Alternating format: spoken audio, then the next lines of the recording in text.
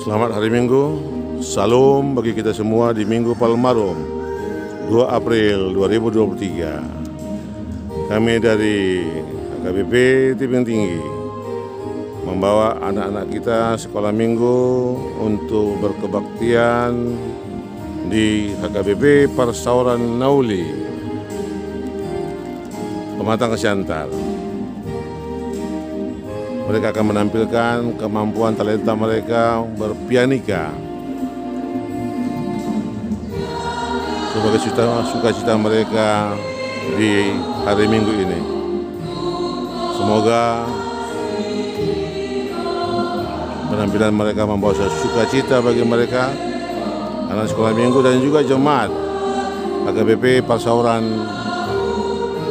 Nauli Mata Kesiantar.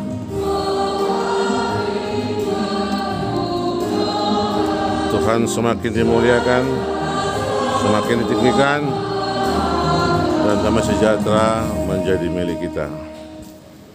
Mari dahite Tuhan di mata aman, doa anak na Tuhan Yesus Kristus, doa ngitor di porbadia, natu pemarani doa mohon.